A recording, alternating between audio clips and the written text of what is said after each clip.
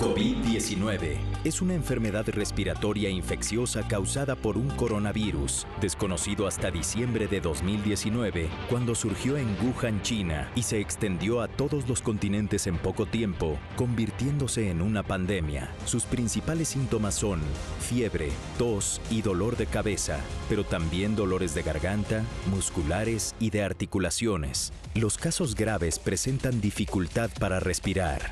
Actualmente hay COVID-19 en 172 países y se calcula que hay casi 14.800.000 casos confirmados y que han fallecido más de 600.000 personas en todo el mundo. En México se estiman casi 390.000 casos positivos y alrededor de 40.000 personas fallecidas. Sigue las recomendaciones de tu médico y quédate en casa. La clave de la mesa del día de hoy es seguir las recomendaciones de tu médico. Y tengo el gusto de presentarles, está con nosotros el doctor Alejandro Macías. Él es infectólogo eh, y nos va a hacer favor de contestar preguntas que el público nos ha mandado. Doctor, ¿cómo está? Qué gusto estar con usted el día de hoy. Hola, buenos días. Usted está con su auditorio. Qué bueno, pues tenemos varias preguntas que nos ha hecho el público, las hemos recopilado todas y si nos arrancamos para que el doctor nos dé respuesta. Por supuesto. Ok, vámonos con la primera, por favor. ¿Hay algún medicamento que funcione para prevenir o curar el coronavirus, doctor? Absolutamente ninguno, no se crean. Ha habido una multitud de cosas eh, y productos milagrosos, ivermectina, hidroxicloroquina, citromicina, nada de eso, no existe. Perfecto. La número dos sería, ¿es cierto que las personas sin síntomas de COVID-19 no deben usar tapabocas? Es falso.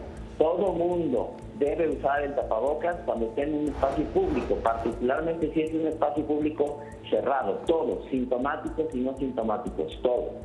Ok, ¿el gel sirve cuando no puedes lavarte las manos? Eh, sí, pero bueno, inclusive si la tienes que hacer con mucha frecuencia, es un buen sustituto del alcohol gel del lavado de manos. Si tienes que lavarte las manos, por ejemplo, una enfermera o alguien que está atendiendo mesas en un restaurante, pues puedes necesitar lavarte las manos 15 veces en una hora. Ahí es mejor el gel con alcohol. Traigan siempre el suyo. Perfecto. ¿Cuándo deja de ser contagioso un paciente que tiene COVID-19? A ver, un paciente con buena evolución Generalmente, contando el primer día de síntomas, 10 días después ya no es contagioso. De hecho, 7 días ya no es contagioso y se considera que debe estar ya sin molestias y sin fiebre por 3 días. Entonces, en términos generales, entre 10 y 14 días es lo más seguro. No ah. aplica a los pacientes graves, por ejemplo, que están suficientemente graves en los hospitales. Es decir, siguen arrojando el virus por semana. Sí, doctor, aunque de pronto la prueba sigue saliendo positiva para algunos, después de esos 14 días. Sí, la prueba va a seguir siendo positiva a veces por meses. La prueba, de hecho, no hay que estarla repitiendo, la prueba de PCR. Exacto. La prueba se hace una vez y sale positiva, ya después nos vamos por los síntomas, no por la prueba. Tú puedes estar perfectamente bien y la prueba sigue saliendo positiva a veces hasta dos meses. Órale. Taline, me estabas platicando hace ratito en la mañana sobre una amiga. Cuéntanos esa anécdota me habló una, una amiga por teléfono no sabía yo de ella hace como tres semanas. Y me, le, ¿cómo estás? Me dijo, Tuvo, tuve COVID-19. ¿Cómo? Sí, estuve dos semanas en cama. ¿Qué te pasó? Pues me dio un poquito de calentura.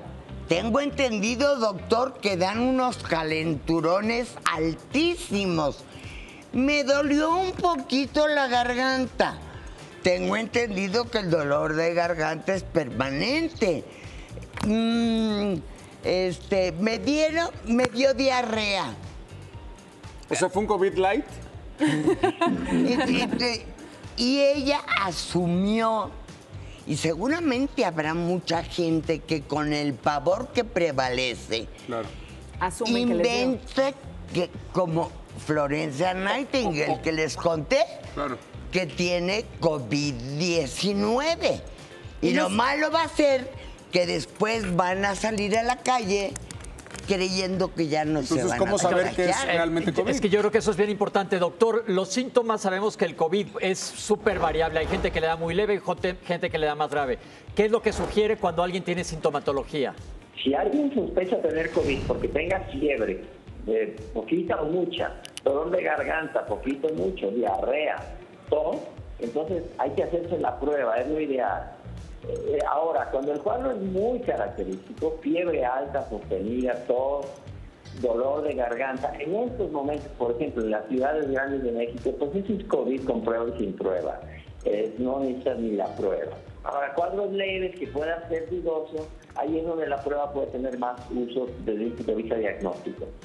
Ok. Doctor, hay otra pregunta, creo que está muy importante esta. ¿Es cierto que los que tuvieron COVID-19 crean anticuerpos y si donan su sangre o plasma pueden ayudar a otros a no contagiarse? Eso es verdad, no más que tampoco crean que es una maravilla el plasma. O sea, yo veo que hay gente grave y yo todo el mundo dice, es que le pongan plasma de otro que ya se alivió. Digo, ayuda un poco, hay estudios, ustedes se considera una terapia experimental, no crean que esa es la solución de todo. Pero sí, quien ya se alivió, que tuvo COVID confirmado, puede apuntarse para formar parte de los donadores de plasma para ya sea estudio de investigación o eventualmente ya cuando se aplique a pacientes graves. Pero no es tampoco que con eso se vaya a salvar la vida. Perfecto. Yo tenía una pregunta más, doctor. Se habla los últimos días de que ya está la vacuna con los laboratorios AstraZeneca y que puede ser que en septiembre nos la podamos poner. ¿Esto es cierto? Falso completamente, Karina. O sea, una cosa es tener la vacuna y otra cosa es tener la vacunación. La vacuna primero está en etapa 3 de desarrollo. Si la tenemos, digamos, en septiembre ya, todavía falta producir ya las cadenas de producción, las de distribución, las cadenas de frío. ¿Quién la va a comprar? ¿Quién la va a aplicar? Si se van a necesitar 7 mil millones de dosis en el mundo, no tenemos ahorita ni 7 mil millones de frasquitos para hacerla. Entonces, no, no, nadie considera que vamos a tener una vacuna antes del año que viene. Es importante no engañar a la gente Claro, también. claro. Oiga, doctor, cuando eh, pa, pa, pa, pa, el de la sangre, ¿hay más riesgos de contagio según el tipo de sangre?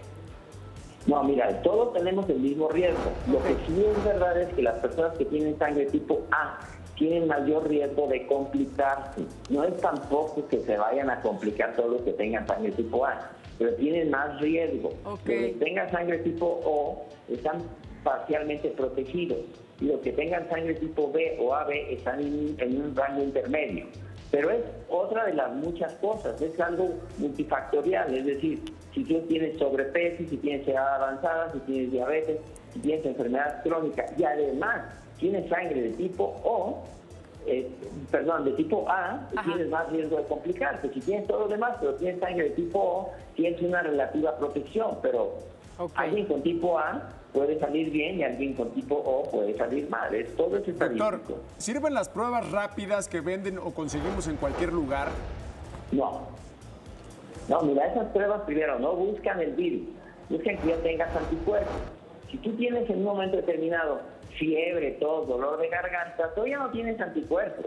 Esas son para después, para ver la gente que ya se enfermó y ni siquiera detecta a todos los que ya se enfermaron, porque hay un grupo de personas que no hace anticuerpos aunque ya se haya enfermado. Entonces, eso se tiene que aplicar con mucho criterio médico.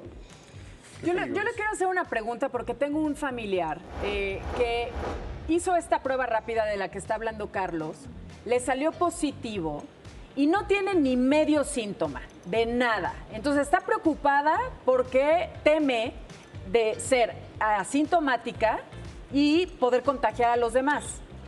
Pero, pero ahí hay una cosa clave, lo que acaba de decir el doctor, esas pruebas detectan anticuerpos. Entonces, si salió positiva es porque ya tiene la... No, pero por eso, como dice el doctor, mejor no utilizar esas pruebas rápidas, ¿verdad, doctor? Hay que hacer las pruebas de laboratorio Hay que- mejor. Y no es lo mismo una prueba para ver si tienes el COVID o si tienes anticuerpos. Sí, así es. Eh, Eso se tiene, no es que sean completamente inútiles, se tienen que aplicar con un buen criterio médico, ¿verdad? Claro. Este, de acuerdo con tu historial, por ejemplo, el, paciente o la paciente que ahorita platicaba Kalim.